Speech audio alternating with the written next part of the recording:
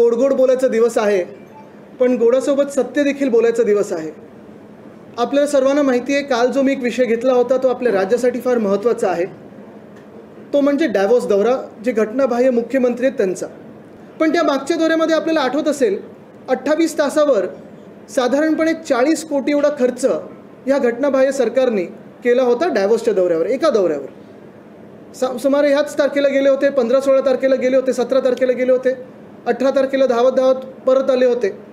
आणि मग योगायोगाने आज जो मी विषय काढलेला आहे मागच्या पंधरा जानेवारी दोन हजार तेवीसला आपल्याला आठवत असेल मी रस्त्याच्या घोटाळ्याबद्दल देखील याच दिवशी एक गौप्यस्फोट केला होता तो घोटाळा लोकांसमोर आणला होता. जवळपास एक वर्ष झालेलं आहे बरोबर एक वर्ष झाले खरं. पण आजचा जो विषय आहे तो फार महत्त्वाचा आहे आपल्या सर्वांसाठीच. कारण आज जे घटनाबाह्य मुख्यमंत्री पुन्हा एकदा डॅवोसला चाललेले आहेत त्यांच्यासोबत जवळपास पन्नास लोक म्हणजे आधी पन्नास खोके आता पन्नास लोक ही डॅवोस दौऱ्याला ही सगळी मंडळी ही चाललेली आहे. आता ही लोक कोण आहेत? कशासाठी चालले आहेत का म्हणून चालले आहेत नक्की काम काय? ही एक वेगळी गोष्ट झाली. त्या खासदारांचा खर्च कोण करणार आहे? राज्य सरकार करणार आहे? की केंद्र सरकार करणार आहे? की स्वतः करणार आहेत?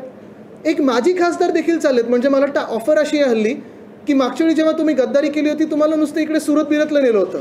आता जर तुम्ही गद्दारी कराल तर तुम्हाला थेट डॅवॉसला देणार आहेत. बघा तुम्हाला कोणाला जायचं आहे का? हे सगळं एका बाजूला असताना मुख्यमंत्र्यांचं लक्ष कुठेही मुंबईत नाही महाराष्ट्रात नाही.